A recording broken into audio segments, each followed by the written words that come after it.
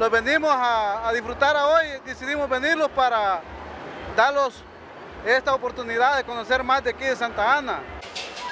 El campo de la feria es uno de los principales atractivos de las fiestas Julias en honor a Señora Santa Ana en el departamento que lleva su mismo nombre. Los salvadoreños llegan desde diferentes puntos del país para subirse a las famosas ruedas y dejar de lado el estrés. Sí, en verdad, hoy este día los hemos decidido venir aquí a las fiestas de aquí de Santa Ana, ¿verdad? Eh, está muy bonito. Bueno, ahorita los niños los traemos que montan sus gusanitos, pero nosotros veníamos por Tagadá, ¿verdad? Y vamos a ver si botamos ese gustazo, montarlos con, con nuestros hijos, nuestra familia. Carritos chocones, chicagos, el gusanito y el famoso tagadá son algunos de los juegos favoritos que puede encontrar.